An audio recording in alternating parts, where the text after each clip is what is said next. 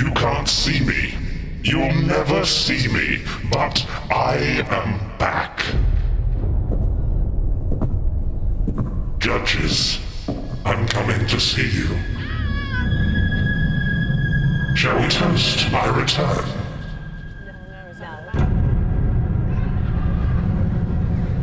David, please think of a memory from your childhood.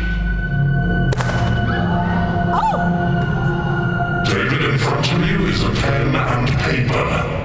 Please write down that memory from your childhood in just a few words.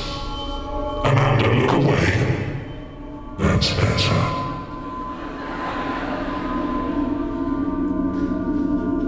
Keep looking away, Amanda.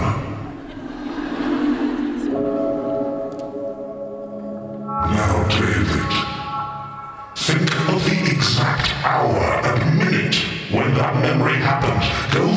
Instincts. Write that hour and minute on a piece of paper. It is important that you lock that time into your memory. Now fold up the paper and hold it in your hand. Don't let go. Amanda, can you confirm you have no idea what is about to happen? No, I've got no clue. Then Amanda, follow me onto the stage. Let's head over to my work desk. Come along quickly, Amanda. Time is of the essence. Quickly, Amanda. Quickly, watch your step. Come along.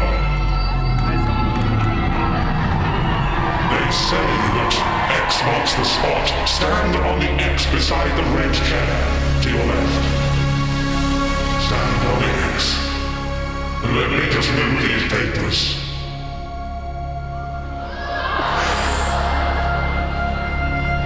This blueprint is of something that I've built. Let's keep it away from prying eyes for now, though.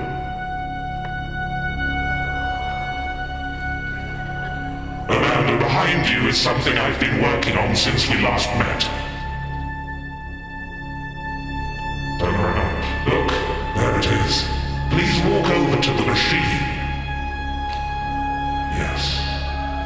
It will enable you to join me in my invisible world. Quickly, round the back. Now please step inside. The crew will help you. Yes. The crew will help you. And don't be scared.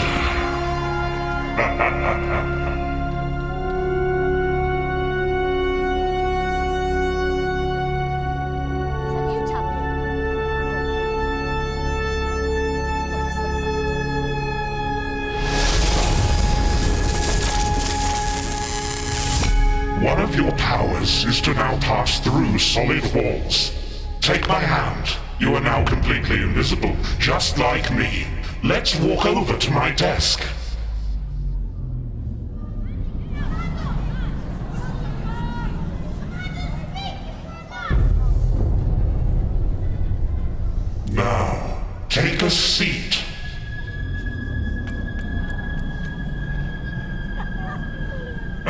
Focus your energy on the candle. Now look over at the judges. You can see them, but they can't see you. Simon, silently think of a number from 1 to 10. Hold up that number of fingers now. And David, please come up onto the stage with your piece of paper. Join us at the table and sit on the red chair. Amanda, please tell Simon how many fingers he is holding up. Simon, you're holding up seven fingers. Welcome, Simon. Amanda, open the lost property box. David, place the piece of paper into the box beside the note that I have written to. Amanda, close the lid. David, think of your memory. Think of the exact time in hours and minutes that you wrote down. Focus on it clearly and tell us Exactly what time was it? Do I say it now? Yes, tell us. Sorry. 12:15 p.m. David, you can see an object covered with a red cloth here at the end of my work desk. It has been sitting here this entire time, and nobody has been near it. Yet some don't believe me, so Amanda, pull the cloth away and show us. 12:15. Stand up. Stand up, David, Sorry. and walk to the side of the stage. This side or the? The other side, David. What, sorry, this one. Sorry. Left, David, turn left. David, you're on the left. Behind you, David. I'm over here, David. I'm over here. This side. Yes. I can't hear him very well. Sorry. I can't hear him. I can't hear. Sorry. David, you'll see a mirror over there. Stand on the X and face the mirror. Now, look to your left, because Amanda is standing next to you. Stand on the X, David, and look in the mirror. Amanda, David is thinking of a memory. What is it? I can see water. I can see an accident. I think David's in maybe like a Girl Guide outfit. Oh no, no, it's um, it's like a, like a cub. Do you still have the? It's like the cubs. I think David David fell into some water. David fell into a river, dressed up as a cub.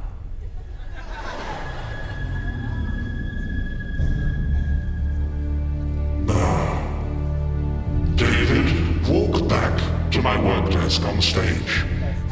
And Amanda, please open the box. David, inside the box are two pieces of paper. Take them both with you and return to the judge's desk.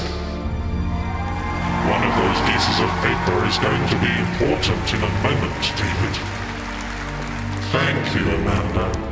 You can close the box again.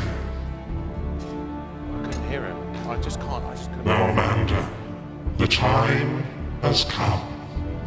You have briefly visited me in my invisible world.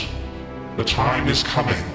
I need you to breathe in, Amanda, and focus on yourself becoming the person that you once were. Amanda, the time has come for you to return to your reality and wake up!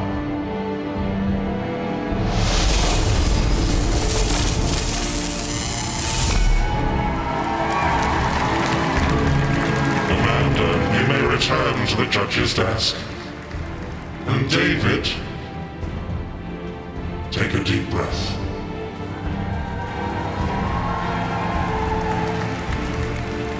Return to your seat, Amanda. Thank you for joining me in my invisible world. David, you are holding a message from me. Please read it out loud. David, you can't see me. You'll never see me. But I am always right here. Until next time,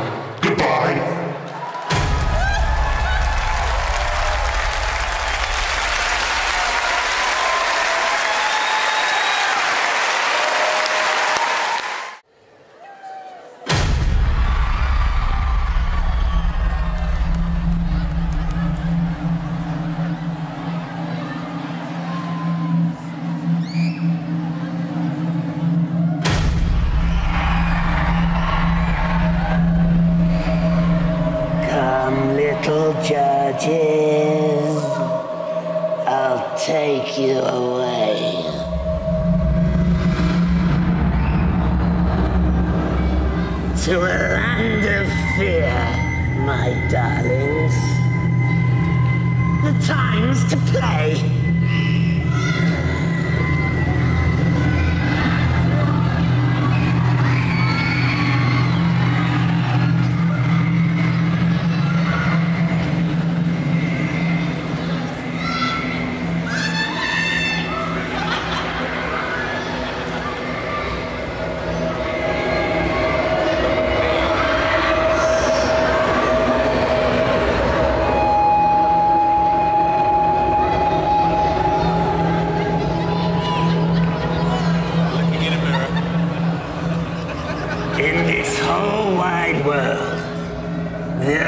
time's to be afraid of is me. For I have the power to conjure your deepest, darkest fears, you see. You. Reach into the box and take what's inside. I'm not darling.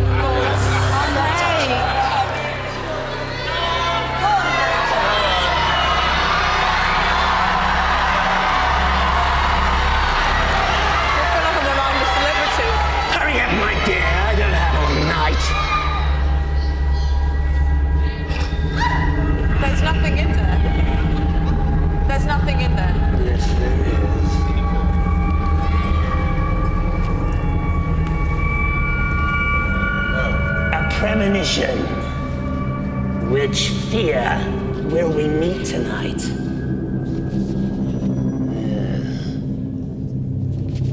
A look into the future of the choices made, destiny or chance. But which will you choose?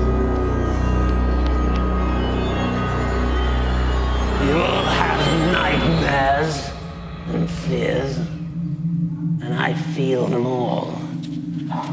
So many nightmares, so many fears. you, little man. What is your fear? Reach inside and pray tell. Do I read it out? Pray tell. Oh. My fear is David Hasselhoff returning to the show. No. Sorry, it's tape, tape one. Tapeworm. I'm scared of a tape one. Fate has brought us to a place in your soul that no one could know. Or could they? You. What is your fear? You right now. oh, you want me to pick one?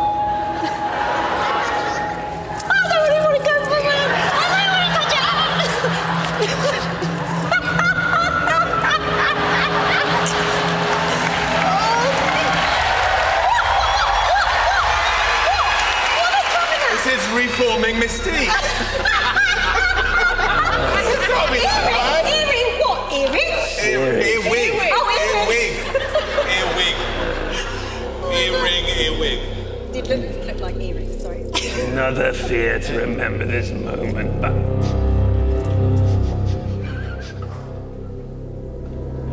Ah. The cowl! Such a strong name! But you stink of fear. By the way, if I may so, you don't smell great yourself. At least I use soap. What am I supposed to do now? Read it. Well, I know that, and do what? Just Tell him. Losing the phone number of my plastic surgeon.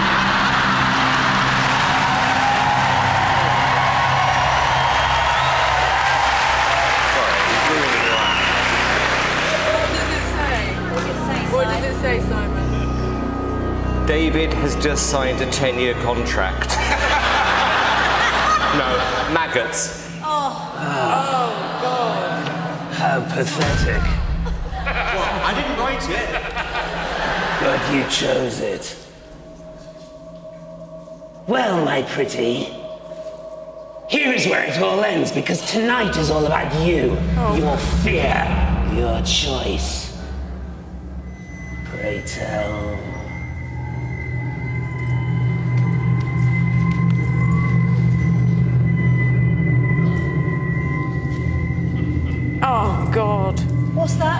Rodent. Oh, no.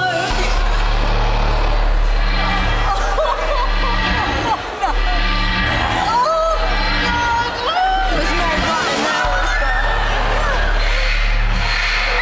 Look into the future. Reach inside the box, take the manuscript, and I'll prove to you what I knew all along. Reach inside